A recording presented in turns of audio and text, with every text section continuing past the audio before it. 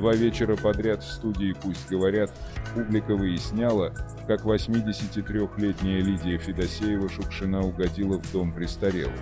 Обсудили и дочерей артистки, и ее отношения с Барри Алибасовым, включился в диалог и Алибасов-младший, который вдруг предложил Лидии Николаевне руку и сердце, чтобы спасти ее от дома престарелых.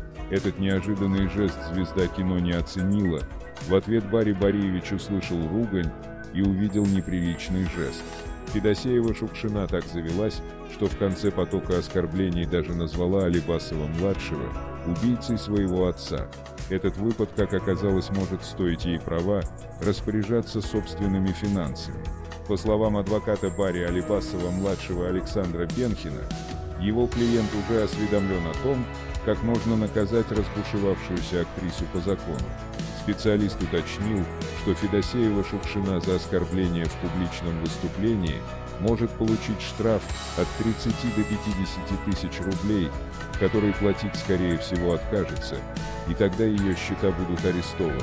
Кроме того, Лидии Николаевне будет наложен запрет на выезд за границу, а у нее квартира в Финляндии, где она любит бывать.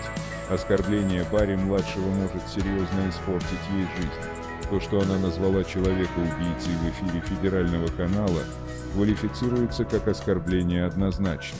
Лидия Николаевна должна следить за своими словами и не позволять себе озвучивать подобные оскорбления, сказал специалист.